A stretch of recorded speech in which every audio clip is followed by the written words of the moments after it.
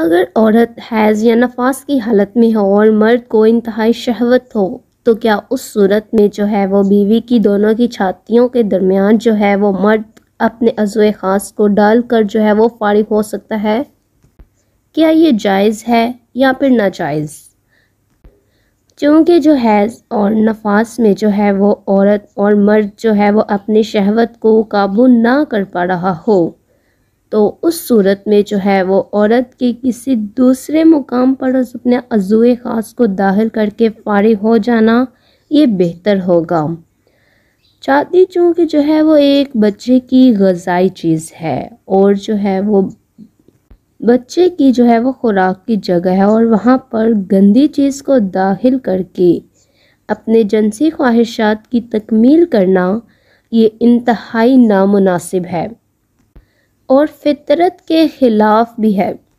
और जब इंसान अपनी फितरत से हट जाए तो वह जानवरों में, जानवरों वाले काम करे या कोई भी काम करे तो इससे किसी सी को, कोई फ़र्क नहीं पड़ता।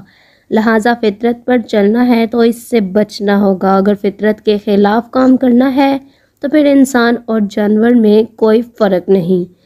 लिहाजा जो है, वो गंदी चीज़ को दाखिल करना, छाती के दरमियान एक गंदे काम को सर अंजाम देना इससे बचा जाए तो ये बहुत ज़रूरी चीज़ है और इंतहाई नामनासिब और नाजायज़ भी।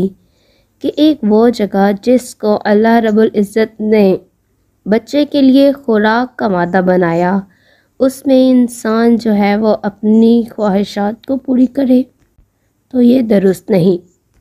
लिहाजा इससे जो है वो हर सूरत में बचा जाए। अगर किसी को ज़्यादा शहवत है तो जो है वो पिंडली और रान के दरमियान जो है वो जगह बना कर या दो उंगलियों के दरमियान जगह बना कर इस काम को सर अंजाम दे सकता है। लेकिन छाती के दरमियान इस काम से जो है वो हर सूरत में बचा जाए, अल्लाह रब्बुल इज़्ज़त जो है वो हमें हर मसले की समझने की तोफ़ी अता फ़रमाए। तो ये थी आज की वीडियो। उम्मीद करती हूँ कि आपको आज की वीडियो ज़रूर पसंद आई होगी। तो वीडियो को लाइक कीजिए और साथ में इस तरह की मज़ीद अच्छी अच्छी वीडियोज़ चाहिए तो चैनल को सब्सक्राइब कीजिए।